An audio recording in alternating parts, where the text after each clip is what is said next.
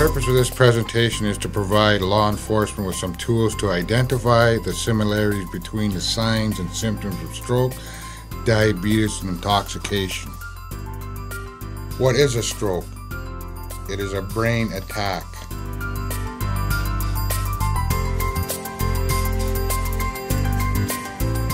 A stroke can affect your ability to move, see, remember, speak, reason, and read and write. Trouble learning or remembering new information, vision problems, problems with short term memory, chewing, swallowing, and speaking, and balance and coordination. Five signs and symptoms of stroke are number one, weakness. Number two, trouble speaking. Number three, vision problems. Number four, headache. Number five, dizziness.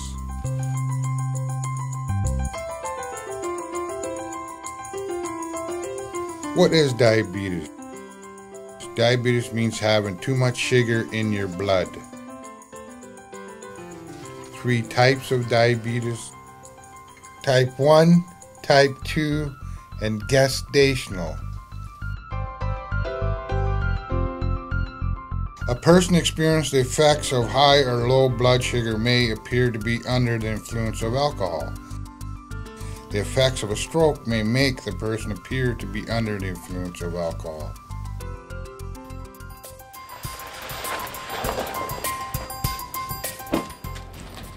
Good day, sir. How are you? My name's Edmund King. I'm with the Gull Bay Police Service. The reason why I'm here today is we got a complaint of a public intoxication. Have you, have you been drinking today, sir? I'm having a hard time understanding, sir. Do you have any ID, sir? Oh, wait a minute, sir. Wait a minute. Time out. Okay. Sir, are you struggling with diabetes? No. Good. How about a stroke? Have you had a stroke in the last little while, sir?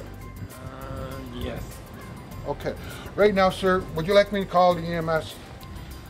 Yes. Today we had a complaint of a public intoxication, Aboriginal male, approximately 40 to 50 years old.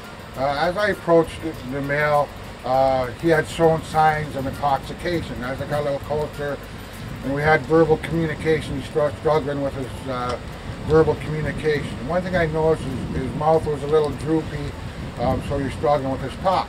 Um, when I asked him for his ID, um, he went to use his hand and he struggled with that. So one of the things I asked him if he had diabetes. And uh, again, he was struggling with communication, said yes and no. Um, he communicated no. Well, that told me he was having, he had a stroke or he was having symptoms of a stroke because once again, his arm, his droopiness, his speech, um, and his, he had that odor on his breath that seemed like he was intoxicated.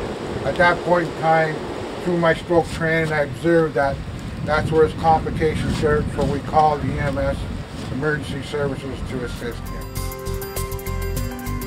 In comparison, it is important to be aware of the similarities between visible, physical signs and symptoms of stroke, diabetes, and intoxication. Awareness can assist law enforcement into acting immediately upon any of these medical emergencies. It is possible for someone with diabetes who is intoxicated to be suffering from a stroke.